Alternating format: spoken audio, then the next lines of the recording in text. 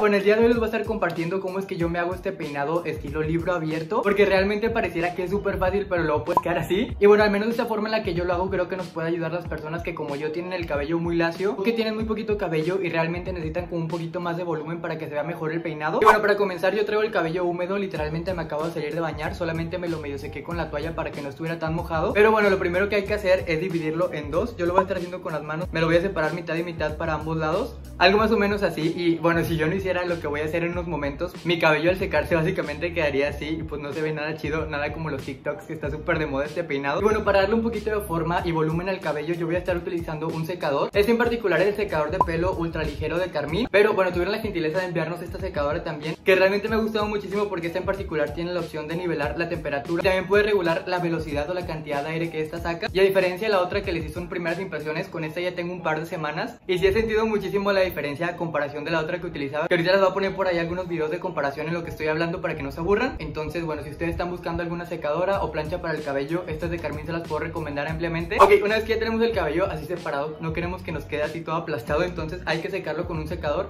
Este en particular trae esta cosita, pero si tú tienes un secador normal lo puedes hacer normal. Y pues bueno, básicamente lo que voy a hacer es secarlo hacia la parte de atrás, ustedes van a estar viendo en pantalla. Y con los dedos le voy a intentar ir dando un poquito de forma hacia atrás y un poquito de moldura aquí en la parte de enfrente para que no nos quede todo caído. Y bueno, recuerden que hay que secarlo obviamente hacia la dirección que queremos, este lado hacia este lado y este lado hacia este otro. Pero bueno, como pueden ver mi cabello ya se un poquito más levantadillo a comparación de como estaba hace ratito. Y bueno, ahora sí para darle forma al cabello voy a utilizar esta cera. Pero bueno, aquí voy a estar tomando algo del producto de la cera y me la voy a embarrar en las manos. Y una vez que ya esté experta me la voy a empezar a echar hacia atrás en el cabello y aquí es donde le voy a empezar a dar forma con mis manos porque esta cera lo que hace es moldear el cabello. Y bueno algo más o menos así es como debería quedarnos. Como pueden ver en la parte de enfrente no sé si lo van a alcanzar a notar pero queda como un poquito voluptuoso como si tuviera mucho volumen en la parte de enfrente cuando realmente ustedes vieron que mi cabello estaba todo aplastado. Pero si para este peinado no ocupas ningún corte de cabello en particular nada más con que traigas suficientemente largo el cabello en la parte de arriba. De hecho si tú lo tienes más largo que yo te va a quedar muchísimo mejor el peinado. Pero sí básicamente es como queda el look